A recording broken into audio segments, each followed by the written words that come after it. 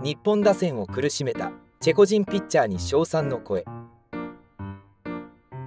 大谷を3球三振で抑えたチェコのピッチャーが本職電気技師で笑ったわ。草野球でこんな人が出てきたら引くわ。このくせ者を日本にぶつけてきたのは普通に作詞すぎるな。さすが脳神経外科医兼代表監督。これはチェコの星野信之ですわ。変わってから明らかにみんな打ちやすくなってる。チェコのピッチャー。ここまで全員ヒゲだな。チェコのピッチャー応援したくなるんだけど。キャッチャーの方がボール派やないか。リアル野球盤言われてんの笑う。日ハム来ないかな。とりあえずチェコ人イケメンだな。